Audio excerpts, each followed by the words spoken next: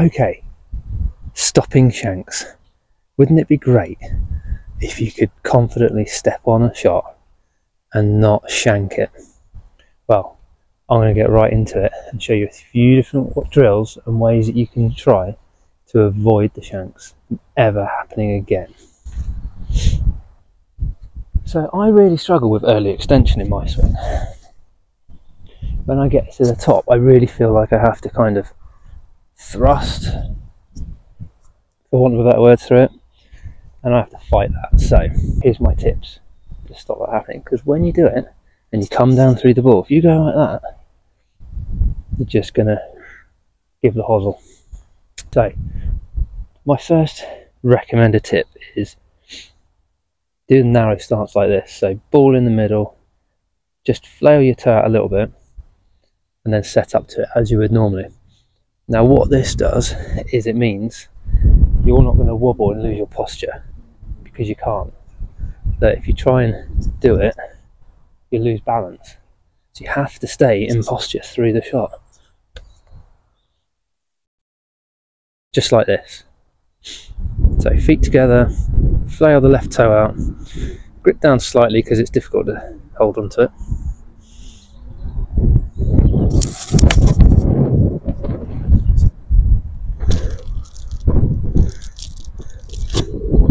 Pulled it a bit, but that's on the green still. Second tip then.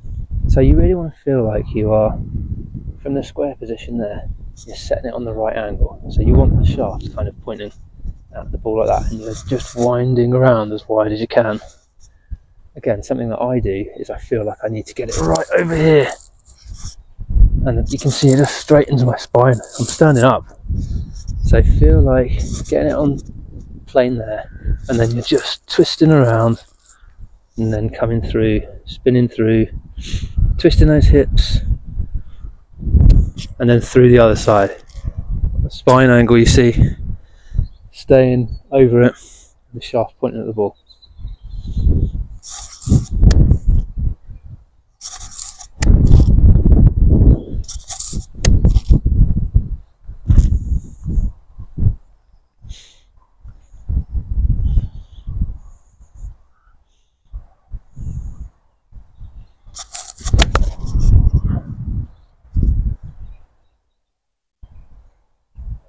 Got the pulls, but Again, that's on the green.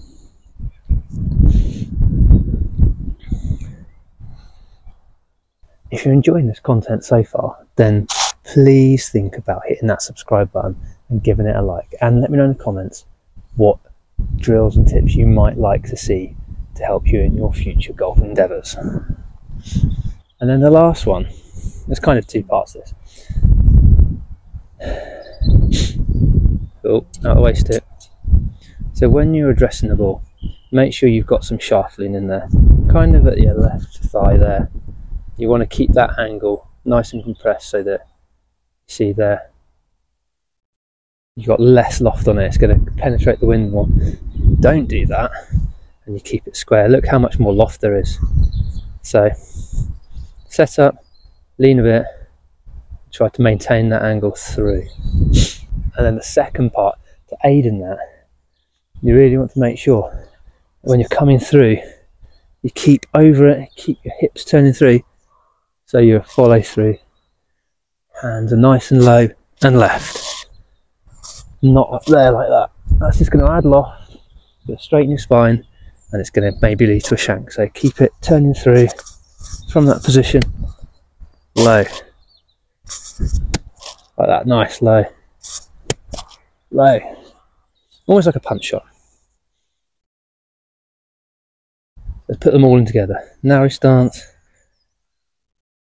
left foot turned out, shaft lean, get the angle of the shaft set, and low finish through. Oh. That was struck right out of the middle. So I've not shanked any of those. And you can see if you put all those into practice, you can get your hips turning through, you can get your angle set on the way back, keep turning through, low finish. Mainly about keeping your spine maintained and not straightening and standing up through the shot. That's just going to lead to the shanks. So try it.